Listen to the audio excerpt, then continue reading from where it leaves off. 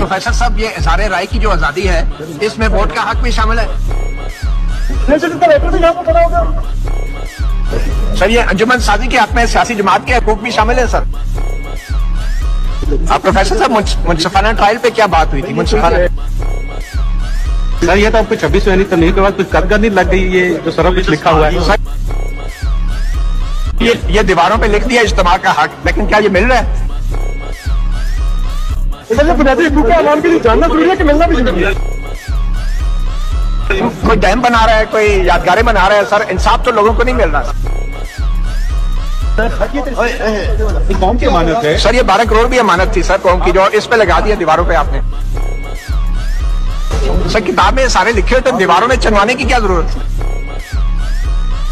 कैसा बड़ी मुल्की सियासी जमात से बल्ला छीनने के फैसले पर मुतमिन है आप।